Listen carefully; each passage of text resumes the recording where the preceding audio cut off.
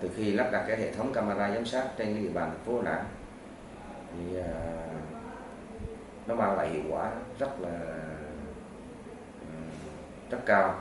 Là nó giám sát được cái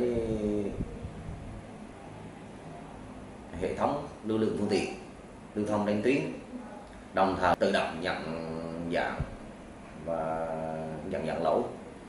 Ờ, tập trung một cái số hành vi vi phạm như là chạy quá tốc độ rồi à, vi phạm mà làn đường phần đường. Là vượt đèn đỏ. Bên cạnh đó thì à, giám sát được cái tình hình trật tự an toàn giao thông trong những giờ cao điểm phức tạp. À, phòng ngừa tai nạn giao thông và chống ùn tắc giao thông xảy ra liên tiếp về cái hiệu quả của nó là ý thức của người dân nhất là đội ngũ lái xe đang này rõ rệt à, đội ngũ lái xe rất là sợ cái hệ thống camera giám sát này. À, đồng thời là, là tình trạng phương tiện lưu thông trên một số tuyến trọng điểm phức tạp. À, đi là đúng tốc độ à, không có vi phạm các cái lỗi mà như đã nêu.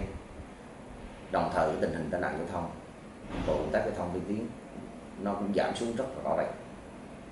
So với trước đây chưa được lắp đặt bên cạnh đó thì nó cũng phục vụ rất là tốt cho cái công tác mà đấu tranh phòng chống tội phạm mà trên cái, các cái tuyến giao thông. Nhất là những tội phạm như là cướp giật rồi uh, trộm cắp và một số hành vi vi phạm khác.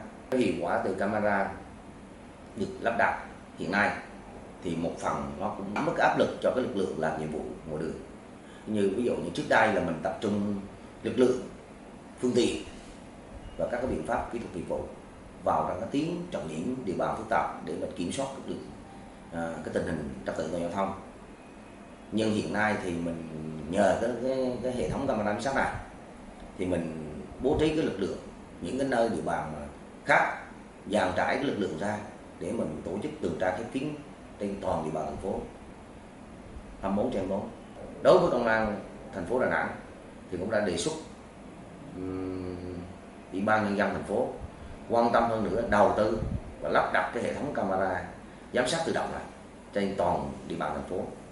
Nó cũng là phục vụ cho cái chương trình 4A của thành phố. Áp dụng tối đa khoa học, thành tựu khoa học kỹ thuật ờ, theo cuộc cách mạng 4.0 hiện nay.